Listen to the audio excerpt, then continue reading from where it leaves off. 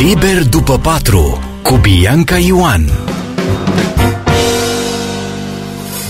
Dacă weekendul acesta poți vedea la cinema Booksmart, Aladdin și Amanda, filme despre care am povestit deja săptămâna trecută, până la finalul lunii mai avem parte de câteva premiere care se promit a fi spectaculoase. Un prim exemplu este Rocketman, în regia lui Dexter Fletcher. Filmul are la bază biografia legendarului Elton John, însă nu se dă la o parte când vine vorba de elemente fantastice din anii în care artistul construia cariera sa importantă. Producția are programată lansarea oficială în 31 mai în toate toate cinematografele din România. O altă premieră așteptată este Godzilla King of the Monsters, care se încadrează la categoria aventuri, dar și acțiune science fiction și un pic de horror. O aventură epică plină de acțiune. Filmul o aduce pe Godzilla într-o confruntare decisivă cu unii dintre cei mai populari monștri din istoria culturii. Noua poveste urmează eforturile eroice ale agenției criptozoologice, în timp ce membrii ei se confruntă cu o serie de monștri de dimensiuni colosale. Soarta omenirii este pusă în joc joc de mituri devenite aici realitate. Godzilla 2 are premiera săptămâna viitoare. O ultimă recomandare astăzi, povestea lui Edmond.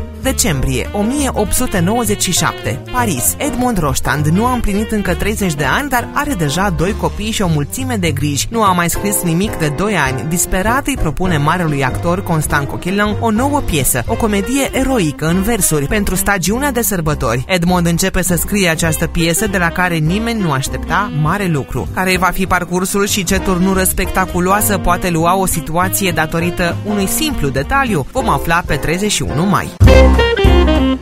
Liber după patru cu Bianca Ioan.